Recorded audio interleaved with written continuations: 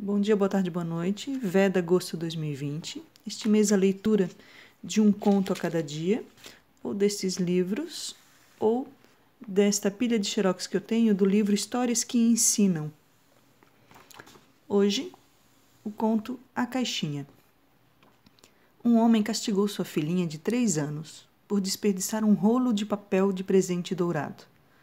O dinheiro andava escasso naqueles dias, razão pela qual o homem ficou furioso ao ver a menina envolvendo uma caixinha com aquele papel dourado e colocá-lo debaixo da árvore de Natal.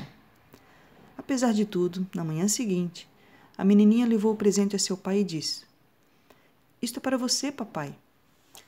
Ele sentiu-se envergonhado pela sua furiosa reação, mas voltou a explodir quando viu que a caixa estava vazia. Gritou, dizendo: Você não sabe que quando se dá um presente a alguém, a gente coloca alguma coisa dentro da caixa?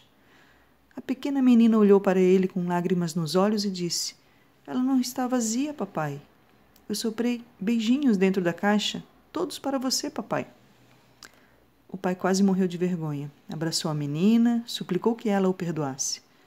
Dizem que o homem guardou a caixa dourada ao lado de sua cama por anos, e sempre que se sentia triste, chateado ou deprimido, ele tomava da caixa um beijo imaginário e recordava o amor que sua filha havia posto ali.